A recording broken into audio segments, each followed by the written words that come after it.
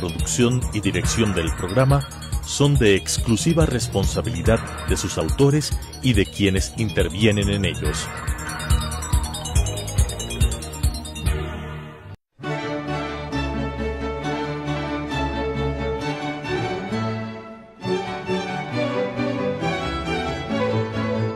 Soy el doctor César Eduardo Galeardo, abogado a tiempo completo, con 40 años de actividad profesional y les invito a ocupar mis servicios en el área penal y en el área civil.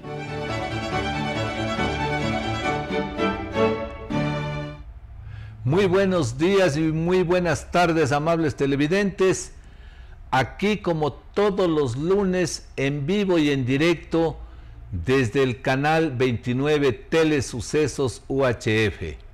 Y el domingo 31 de octubre, 6 de la tarde, en el reprise, en donde estaré contestando cualquier inquietud al teléfono de mi domicilio. El contenido para el día de hoy está en vuestras pantallas. Siempre unas dos noticias para calentar el ambiente. La mejor, por fin el Aucas llegó a una final del Campeonato Nacional Ecuatoriano. Y la quinta pregunta que cada lunes vamos avanzando respecto al referendo y a la consulta popular que se avecina el próximo año, referente a los movimientos y partidos políticos. Dentro del segmento pedagógico, la cápsula del COGEP número 47, en donde hemos de conocer las diferencias entre citación, notificación, personalidad jurídica, persona y personería jurídica. Y el tema central de este lunes es la promesa de compra-venta y la casuística de Elia respecto a un contrato que he analizado el fin de semana por pedido de un cliente. Estaremos señalando qué cosas nomás hace la consultora jurídica Galiardo y si nos queda tiempo las experiencias de la semana respecto a lo que ocurrió, el análisis de un juicio de herencias allá en Pastaza el Puyo que he sido contratado para revisarlo y hacerme cargo del mismo y un tema laboral respecto a la desnaturalización de un contrato, a la simulación que algunos empleadores quieren darle haciendo firmar contratos de honorarios. Vamos a ver cómo algunos empleadores utilizan esta mañosería, pero que ventajosamente el Código del Trabajo no lo permite. Así es que nuevamente mi saludo y arrancamos con el primer tema respecto a las noticias de la semana. La prueba más evidente del periódico El Comercio del día de hoy, su primer titular, Papá Aucas. Qué maravilla que un equipo del pueblo haya alcanzado este honor después de casi 80 años. Miren ustedes, el equipo nunca llegó a un lugar tan estelar y con sobra de, merecimientos. 20 partidos invicto. Vamos a dar el aliento necesario para que en la final con Barcelona llegue a coronarse campeón, que sería lo más justo porque ha sido el mejor equipo del torneo. En torno al referéndum, tenemos nosotros la quinta pregunta que se refiere a los movimientos y partidos políticos. El Ejecutivo tiene un control de sus miembros, ya que estos no garantizan la representación ciudadana. Hay muchos movimientos políticos. Cualquiera reúne a un grupo de amigos y se constituye en movimiento político o en partido político. Pues el proyecto del Ejecutivo tiende a que se sube el porcentaje al 1.5 del padrón electoral respecto de cada población donde quiere constituirse un movimiento partido político. Vean ustedes lo que sucede en Estados Unidos, un país inmensamente grande, con una superpoblación, dos partidos políticos, el demócrata y el republicano. Y aquí, en cada esquina, un movimiento político no puede ser. Así es que les dejamos esta inquietud para que razone y acepte esta pregunta positivamente.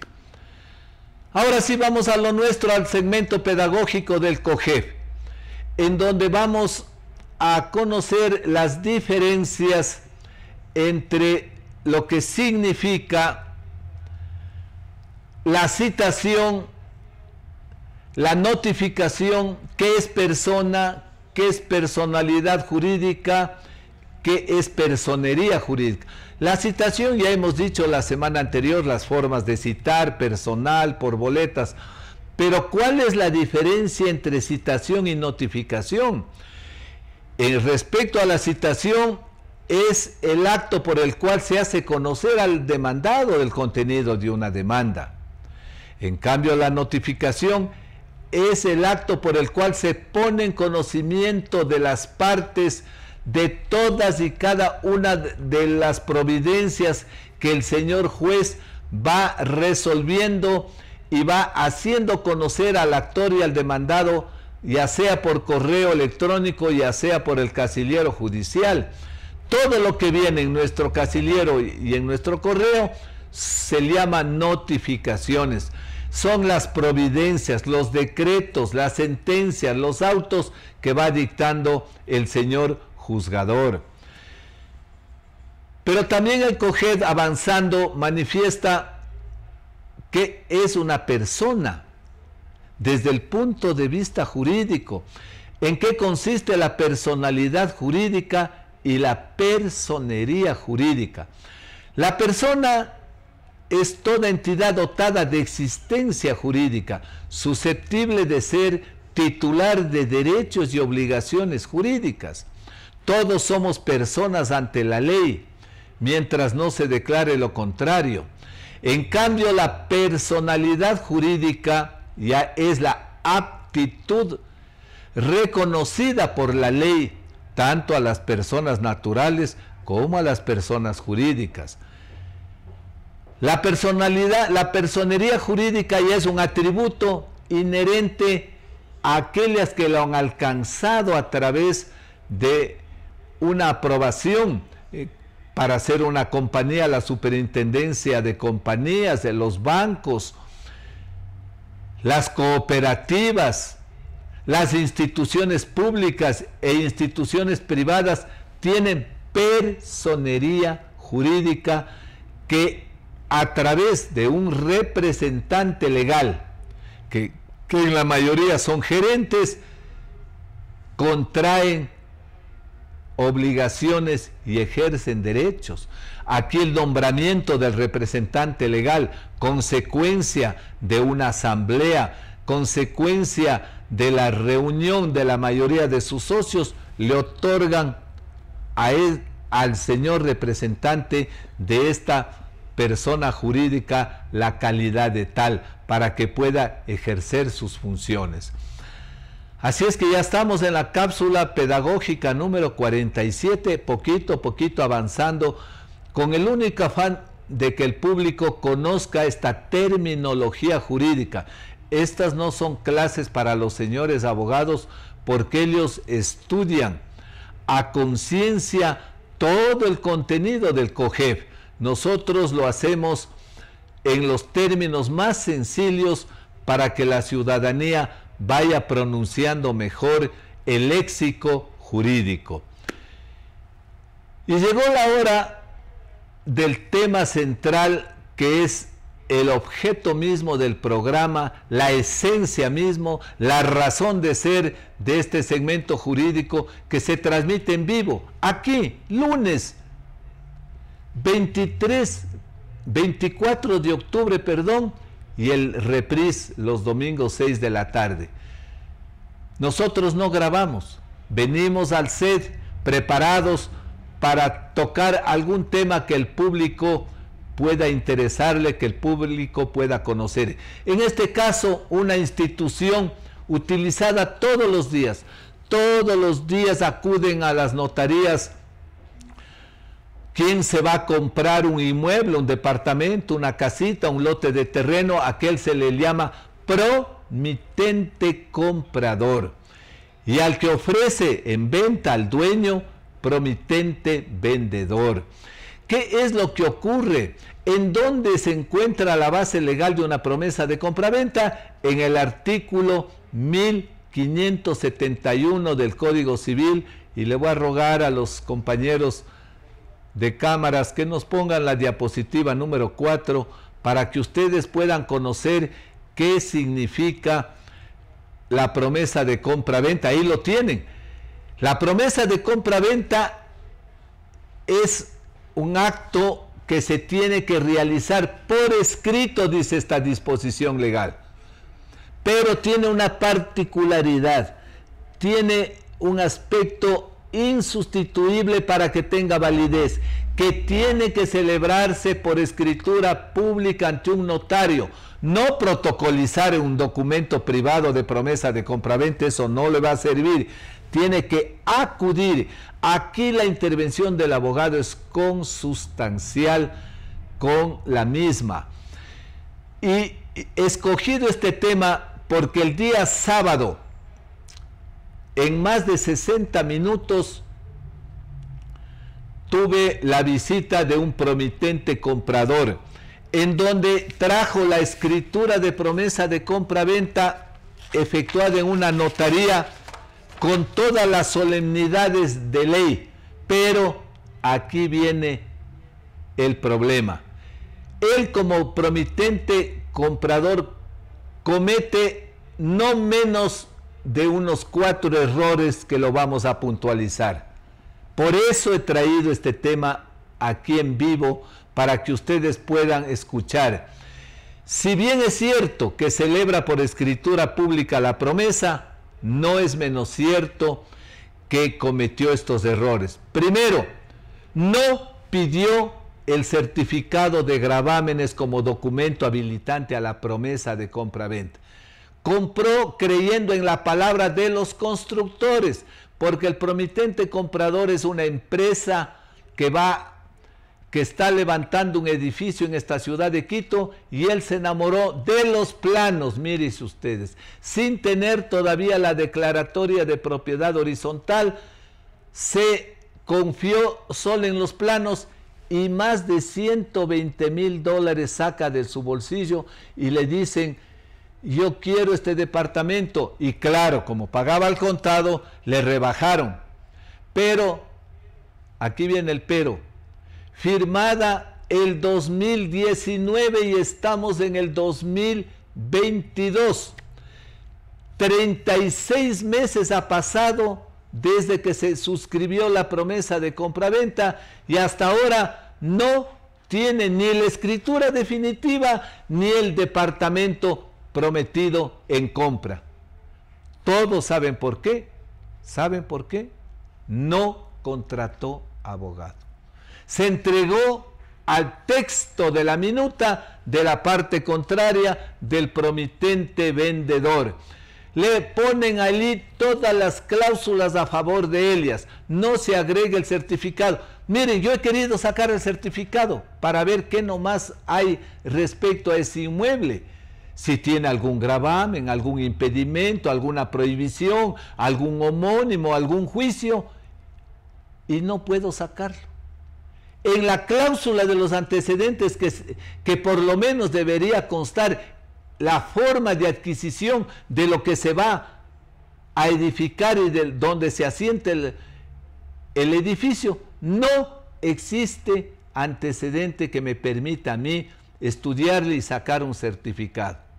Vean ustedes, los tiempos que se obliga a la promitente vendedora para entregarle al departamento han sobrepasado en demasía, en demasía, porque allí se habla para octubre del 2021. Es decir, que ya vamos un año de retraso, un año de aplazamiento y no puede recibir su departamento el señor que me consultó. ¿Qué más? Lo que más tampoco me ha agradado es que en el caso de un posible incumplimiento,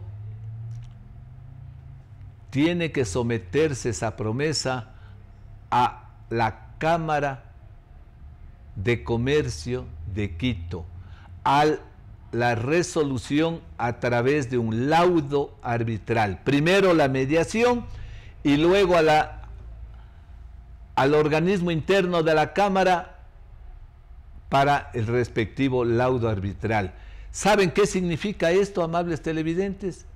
Que la Cámara de la construcción de Quito tiene fuertes honorarios para abocar conocimiento. Ellos le van a aplicar a raja tabla los 120 mil dólares y van a decir aquí cuesta no menos de 2 mil dólares resolver este asunto. ¿Quién va a pagar eso? si al pobre promitente comprador en una cláusula que yo una vez les hago conocer, cuando se habla de los gastos, todos los gastos que genere la celebración de esta escritura correrán a cargo del promitente comprador. ¿Por qué? Si hubiese tenido abogado, tiene que ser como en, la, en el barrio se dice, miti miti, 50-50. Sí, ¿por qué deben gastar igualitariamente las dos partes? Por una sencilla razón, pues igual se asegura. ¿Para qué es la promesa de compraventa? Para asegurarse el cumplimiento de un acto, de un hecho, de una condición o de alguna compra. En este caso, de una venta de un departamento bajo el régimen de propiedad horizontal. Así es que mis amigos, Qué pena que tenga que decirlo esto y por eso he traído este caso. No vaya a firmar promesas ni de carácter privado ni en la notaría si usted no puso el abogado porque generalmente las empresas constructoras se aseguran hasta los dientes y no queda otro camino que someterse a las cláusulas que están estipuladas allí. Vamos a hacer el corte de rigor y volvemos en unos instantes.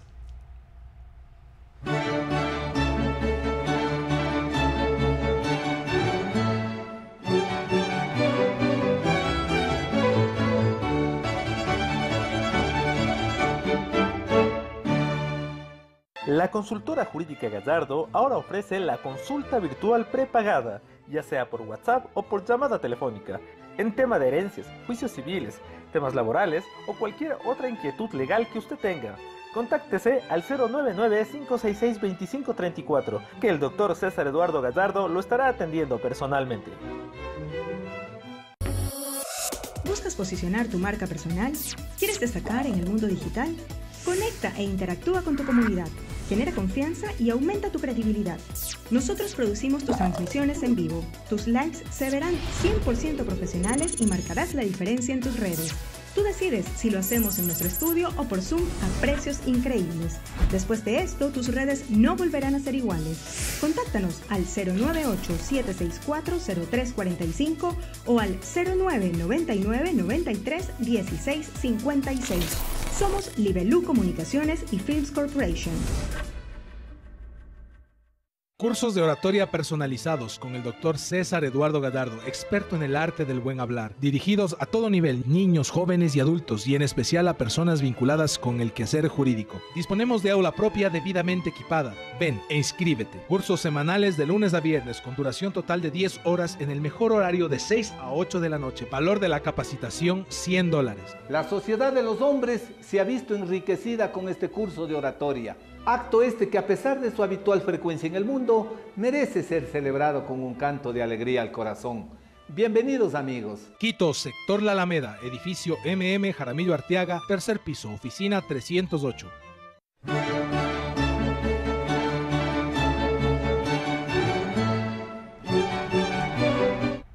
Estamos en vivo desde el set de Canal 29 Telesucesos. Domingo el reprise desde mi casa responderé cualquier inquietud que usted tenga. Si ahorita desea llamarme, aquí está. Aquí está el 0995 662 534 para responder a cualquier inquietud educado, pregunta corta, porque el tiempo apenas tengo cinco minutos en televisión, pero lo haría con mucho gusto si ustedes se animan a llamar sobre temas que yo manejo. ¿Qué hace la oficina? Atenderle como usted se merece. Donde mí usted no conoce esa palabra, hacer antesala, dormirse en los despachos, eso no ocurre. Por la delicadeza y el respeto al cliente, se fija una hora, yo ya estoy antes de esta hora para recibirle, hago la consulta a domicilio, el sábado voy a ir por el colegio Amazonas, una señora de la tercera edad me ha pedido que no puede trasladarse, allí voy a ir, como este sábado anterior de esta promesa, nos reunimos, vean ustedes, sábado, domingo, por Zoom, por teléfono, no tiene usted pretexto para no ser asesorado adecuadamente en estos temas. Tengo hasta parqueadero, me dedico a asuntos de la familia, divorcios, contratos, temas notariales, del registro, catastros. ¿Qué más les puedo ofrecer a ustedes? Cobranza de juicios, temas demorosos de los inquilinos, qué es lo que abunda, que no quieren irse, sí, y si se van, se van debiendo. Todo eso tiene que tomar decisiones para yo ayudarle. Así es que mis queridos amigos, ahora más que nunca en una crisis económica donde su dinero tiene que ser invertido correcta, oportuna y adecuadamente, está los servicios de quien les habla de manera transparente. Así le cueste, pero usted está bien asesorado antes de meter la pata antes de entregar un dinero, ese es el momento oportuno para contratar los servicios de un profesional. Vamos al segmento de las experiencias de la semana. Viajo al Puyo, una herencia insoluble, más de 20 años, donde los terrenos de una familia se encuentran, por no decir invadidos, se encuentran ocupados y voy a, trabajar revisando qué juicios nomás se siguen. ¿Por qué no prospera un, un juicio de partición que me han hecho conocer? ¿Qué pasa con los señores ocupantes? Unos a través de contrato de arrendamiento, otros de manera verbal que están ocupando. Voy a tener un diálogo directo con ellos y les estaré conversando. Así es que en el feriado de finados 2022 estaré trabajando y al paso me quedaré a unos días de descanso. ¿Qué más? En el tema laboral tuve dos casos, dos casos, miren ustedes, me dedico a los temas laborales, dos casos de asesoramiento al trabajador.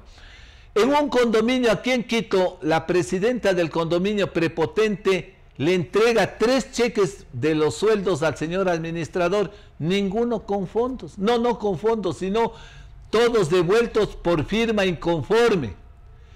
Julio, agosto y septiembre, el pobre señor administrador no puede cobrar sus haberes y no le quiere pagar. Pero lo que sí supe decirles que aunque le hacen firmar factura, usted sí está protegido por el Código del Trabajo. Eso se asustó el condominio. Le vamos a probar, señora, que ahora esa mañosería no prospera. Usted tiene licitud de servicios, tiene dependencia, tiene remuneración, se cumple el artículo 8 del Código del Trabajo. El tiempo ha expirado, el domingo les espero. Muy buenas tardes.